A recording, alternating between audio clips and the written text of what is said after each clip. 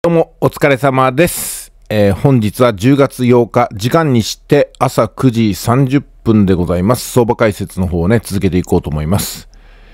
えーと、前回なんですけども、前回って言っても今日のことじゃないですよ。以前のことなんですけども、こちらの方材料でドカーンとね、上昇しました。これは石破総裁が、石破総理が、日銀の金利上げなくてもいいんじゃないの？と言ったことに市場が反応したものなんですね。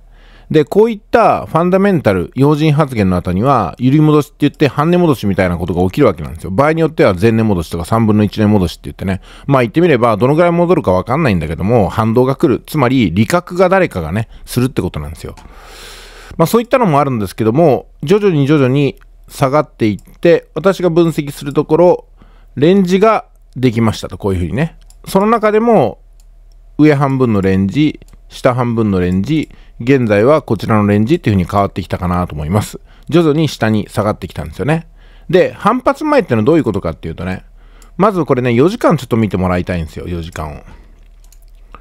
1時間を支配する4時間は、今、この辺りで赤い移動平均線にぶつかる、もしくはライムの移動平均線に今反応しているところです。ですんで、こうやって見るとね、材料の半値戻しの時期なんですよ。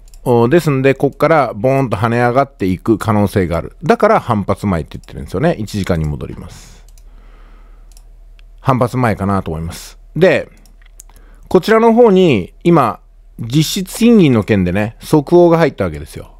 これに市場が反応して、ガクンと下がったんですけども、同時に次の1時間で同じ方向に戻りました。ということで、失礼しました。この効果は相殺されたわけなんですね。ちょっとニュースを朗読しますよ。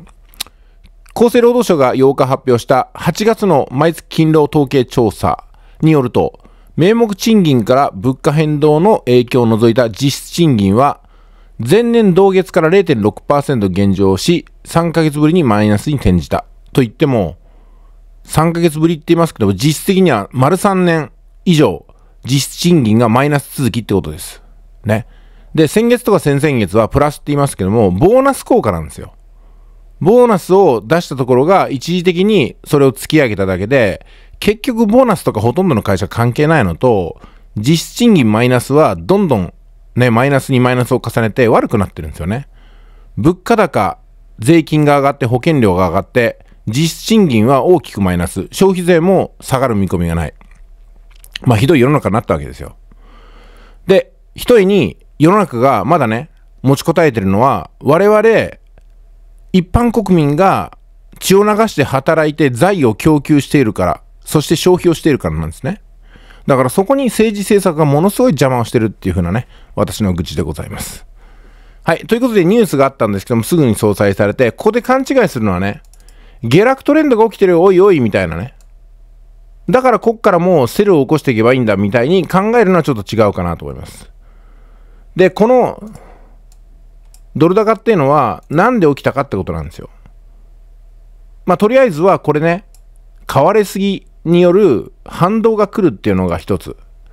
その次にですよ、半値戻しが過ぎて、先ほどの4時間見ていただいたらわかるんですけども、移動平均線に反応する時期なんですよね。まあですんで、こっから上に突き上げていく。N 字を書いて、N 字ってのは、材料を反発、さらに反発っていう形でね、こういったシナリオも書けるわけですよ。ですんで、今すぐこの時間にエントリーするのは経験かなと思います。とりあえずは材料の効果が薄まったんで、材料の威力は、まあ、ここまで引き継いでいないだろうということをね、考えながら、もう一回4時間を見ていきます。えそうするとどうでしょうか？平たく見て、突き上げて下がって、突き上げて下がってという流れはもう見えます。移動平均線。ね、上昇トレンドを書いてるでしょ？ということは、ぼちぼち反発して上昇する局面になってもおかしくないよねっていうふうに考えていかないといけないんで、もうちょっとエントリーは待ってくださいねって形になります。で、上昇トレンドのきっかけはここから始まってます。上から下に来たところ、何らかのきっかけでここからね、上に行って、ガクンと、ここでも、ね、石破総裁が、総裁になったぞってなった瞬間、ガクンと落ちてね。それから他の材料でこうやって上がってきたっていうところがありますね。で、第2条、石破ショックがここですよ。ね。まあそういった形で皮肉にも今、ドル高の方向に移ってるとこなんで、テクニカル的にこの上昇トレンドを見ていくしかないでしょうね。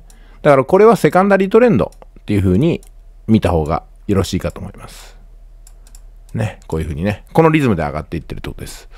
まあですんで、この移動平均線に反応して、これからね、もりもりと上昇していくようでしたら、それを確認してバイでエントリー。そうじゃなくて、まだまだ下がるようでしたら、下がったのを確認して、うーん、でもセルでエントリーはちょっと勇気があります。うん。